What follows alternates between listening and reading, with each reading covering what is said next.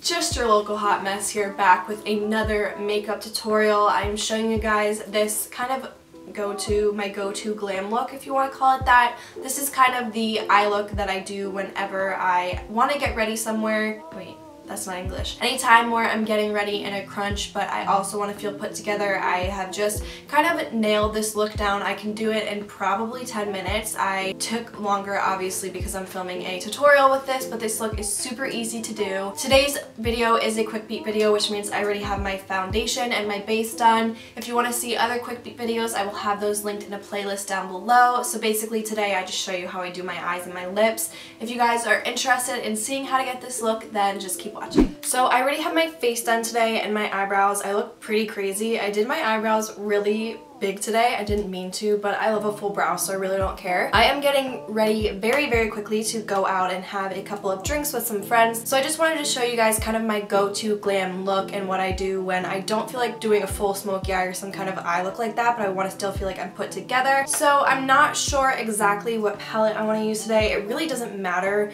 as far as palettes go what you use. So I'm just going to dip into my Modern Renaissance palette by Anastasia. I feel like I look so weird and I feel like my background is so dark. My ring light is on and my two soft boxes are on. However, I usually have the soft boxes pointed back towards the background here to have that more lit up. I kind of feel like it might be better to have them angled towards me. So I hope the lighting in this video isn't weird. So bear with me if it is. I'm going to be dipping into my Modern Renaissance palette today by Anastasia. I don't really have a preference of what palette I use when I do looks like this because the kind of technique of the look stays the same. You can kind of just change it up depending on what tones and colors you want to use. I'm going to dip into the shade Burnt Orange with my JH30 31 brush and I'm going to focus this throughout my crease and then I'm going to slightly blend it up towards my transition area.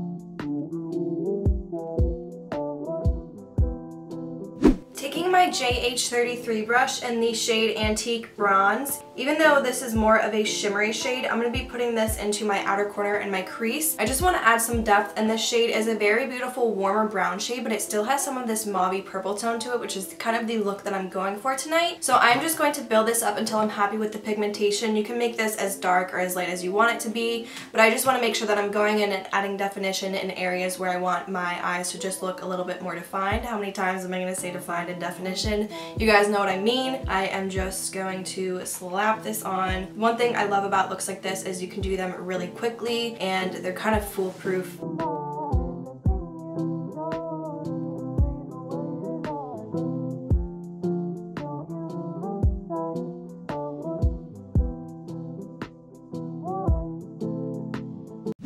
Taking the shade Cyprus Umber with my JH40 brush, I'm going to focus this on the very outer corner and tightest throughout my crease just to really finalize that definition that I'm going for today.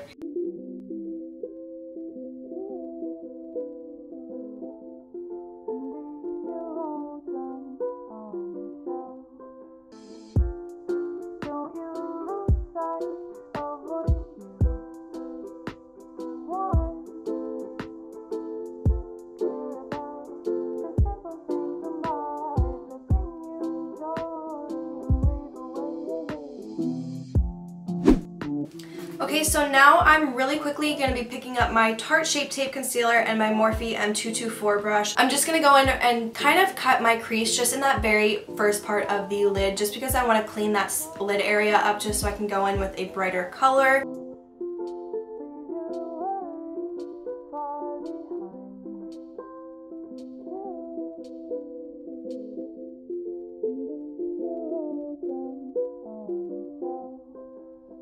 Okay, so now that I have that inner portion of the lid cleaned up, what I do looks like this. I like to just take a shimmery shade, so sticking with this same palette just so that this look is easier if you guys do have this palette, I'm going to be picking up the shade Vermeer and I'm just going to focus that onto the inner corner about halfway onto the lid right before I get to that outer corner there. I don't want to cover that outer corner up obviously because I still want to keep that definition. I just want to make sure that I'm really focusing on opening that inner part of the eye up with this shimmery brighter shade. And I'm applying that with my JH41 brush.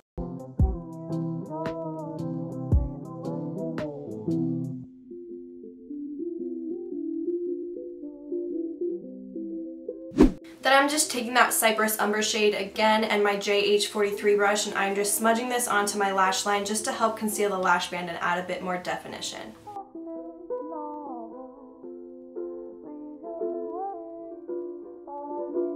Now I'm just putting on a quick coat of mascara. I will be using my NARS Climax Mascara.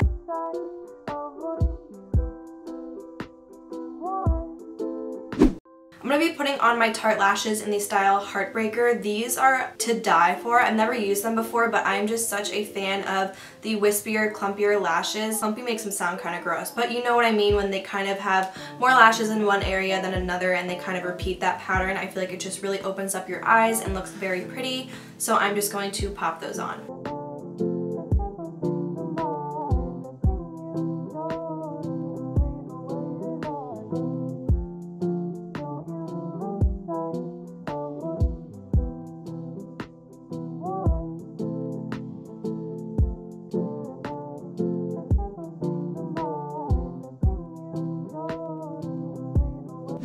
Okay, so now that we have the lashes on, which honestly I feel like aren't necessarily like the best shape or length for my eyes, but we don't have time to go in and switch them out today because I'm already running late. So I'm just going to be using some Morphe liner in the shade Richie. This is a nice deep brown liner on my lower lash line, and then I'm going to blend that out with that antique bronze shade just to create a bit of a smoky look on that lower lash line.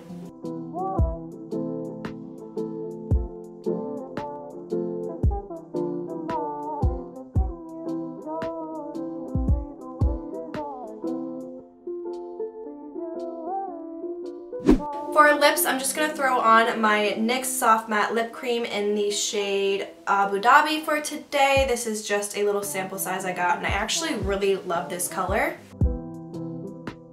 I'm just going to put a little bit of mascara onto my lower lashes here. This just makes all of the difference. And then I'm going to take that Vermeer shade that we used on the lid, and I'm just going to pop this into my inner corner and my brow bone. I hope you guys enjoyed today's video. I just wanted to show you guys like what I do when I am getting ready and I want to feel put together but I don't have a lot of time. This is like my go-to look. I just like to brighten up the lid and add some definition to those outer corners. So I hope you guys enjoyed this video. If you did, please give it a thumbs up. Feel free to leave some comments down below letting me know what kinds of videos or looks you would like to see me do next. And also, if you're new here, don't forget to subscribe on your way out. Thank you guys so much for watching this video and I will see you guys in the next one.